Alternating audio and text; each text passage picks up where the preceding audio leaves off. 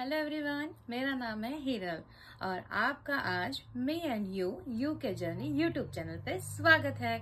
अगर अभी तक आपने मेरे यूट्यूब चैनल को सब्सक्राइब नहीं किया है तो जल्दी से जल्दी आप मेरे यूट्यूब चैनल पे जाइए और वहाँ पे बेल आइकन को प्रेस करके मेरे चैनल को सब्सक्राइब कर दीजिए, क्योंकि मैं ना जॉब स्टडी ट्रैवल और अदर इंफॉर्मेटिव वीडियोस बनाती हूँ।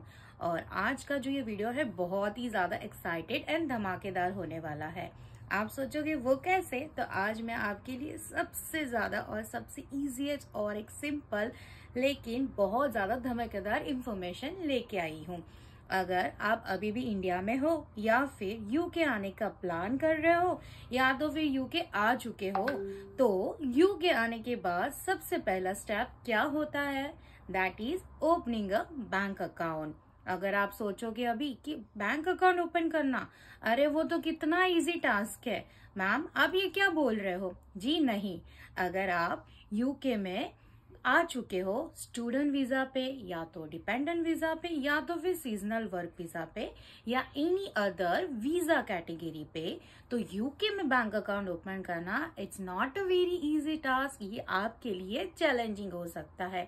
मैंने ना यहाँ पे बहुत लोगों को परेशान होते हुए देखा है, खास करके न्यू कमर्स लाइक स्टूडेंट्स तो आप जरा भी घबराना मत, क्योंकि आप मेरे चैनल को सब्सक्राइब कर चुके हो, इसके लिए आप ये वीडियो पे बने रहना और मैं आपको बताऊँगी अगर आपके पास डॉक्यूमेंटेशन बहुत सारे नहीं है और आप न्यू कमर हो यूके में, फिर भी आप है ना इजिएस्ट वे में बैंक अकाउंट ओपन कर सकते हो।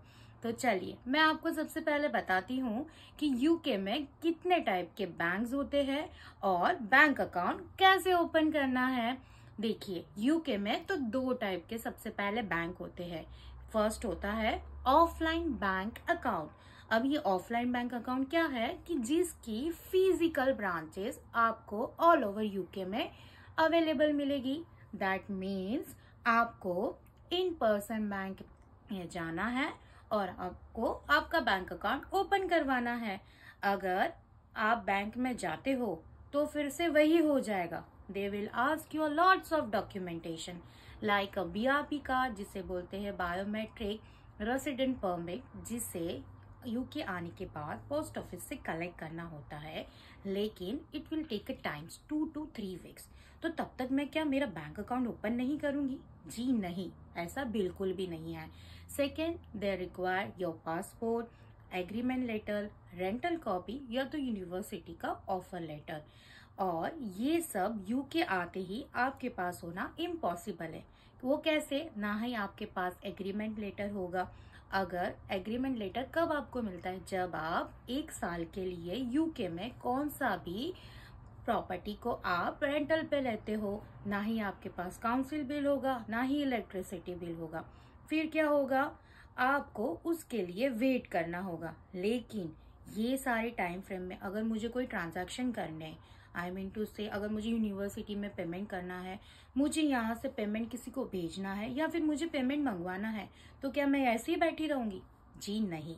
इसलिए यूके में सेकेंड बैंक अकाउंट टाइप होता है online bank account which is very easy and simplest way to open तो आज मैं आपको मेरा एक्सपीरियंस शेयर करूँगी लाइव एंड प्रैक्टिकल जब मैं यूके में आई थी तो मैं भी ऑफलाइन बैंक जैसे कि H S B C Lloyds and Barclays सारे बैंक में विज़िट करके आई थी और सभी ने मेरे पास ये सारे डॉक्यूमेंटेशन मांगे। फिर मुझे समझ में आया कि यहाँ पे सिनारियो तो सब बैंक में सेम ही है। फिर मैंने खुद को ज़्यादा परेशान ना करते हुए मैं घर आई और मैंने गूगल किया। तो मैंने उसमें पाया बहुत सारी ऑनलाइन बैंक अकाउंट भी ओपन होते हैं।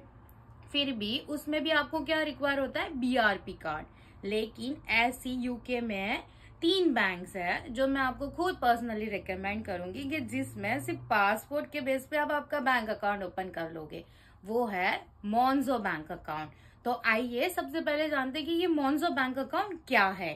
तो देखिए this is a Monzo bank account ये जो मोन्जो बैंक अकाउंट है वो आप इजीली अपने फ़ोन से फ्री ऑफ़ कॉस्ट ओपन कर सकते हैं। ये कैसा दिखेगा? तो इसका कुछ ऐसा एक आपको व्यू दिखाई देगा। उसके बाद मैं आपको बताऊँगी, देखिए यहाँ पे एट मिलियन से भी ज़्यादा लोगों क्या प्रेफर करते हैं? मॉन्जो बैंक अकाउंट ये कुछ अगर अकाउंट ओपन करने के बाद आपके जब मोबाइल में आप ऐप इंस्टॉल करते हो तो कुछ ऐसा व्यू आपको दिखाई देता है। अब मैं बताऊँगी कि मॉन्जो बैंक अकाउंट तो सबसे पहले ये क्या है? फुल्ली रेगुलेटेड है गवर्नमेंट के थ्रू मतलब आपको अभी बिल्कुल भी टेंशन लेने की ज़रूरत नहीं है। इसके कस्टमर सपोर्ट भी 24 four by seven hours available होते हैं।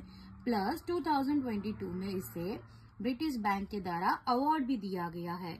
आप इजीली मनी को एक जगह से दूसरी जगह भेज सकते हो, पूरे all over the UK even you can do the transfer in India also ठीक है? तो इसमें बहुत सारे आपको बेनिफिट्स है। अभी आपको बैंक अकाउंट ओपन कैसे करना है? तो सबसे पहले आपको बैंक अकाउंट ओपन करने के लिए आपको गूगल में जाना होगा और आपको वहाँ पे मॉन्जो बैंक अकाउंट टाइप करना होगा।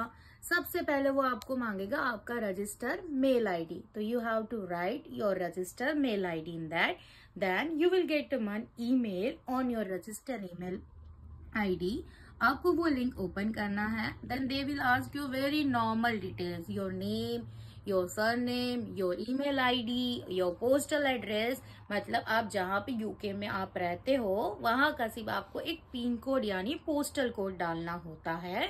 उसके बाद आपको सिर्फ़ आपका पासपोर्ट अपलोड करना होता है. Once you will done with all the procedure आपको एक वीडियो कॉलिंग कॉन्फ्रेंसिंग कॉल आता है, जिसपे आपकी केवाईसी होती है। डन आपका बैंक अकाउंट ओपन हो गया और दूसरे दिन आपके पास आ जाता है आपका डेबिट कार्ड फिर डेबिट कार्ड आपको से आपको के मोबाइल ऐप में आपको मोन्जो बैंक अकाउंट डाउनलोड करना होता है। And through your debit card you can activate your account thank you और ज़्यादा जानकारी के लिए मैं ये वीडियो के नीचे सारी यूजफुल लिंक्स अपलोड कर दूँगी ताकि जब भी आपको यूके आना हो और आप आ चुके हो तो आप सबसे पहले मेरे वो लिंक पे जाके इजीली मोन्जो अकाउंट ओपन कर लेना। थैंक यू गाइज़ ऐसे ही इंफॉर्मेटिव वीडियो के लिए आप हमेशा मेरे साथ बने रहना। सो so दैट आपको सारी इंफॉर्मेशन मिलती रहेगी और आपको यूके में आप इजीली आपका सारा काम कर सकोगे। और हाँ सबसे पहले मेरे यूट्यूब चैनल को सब्सक्राइब ज़रूर करना। Okay bye bye thank you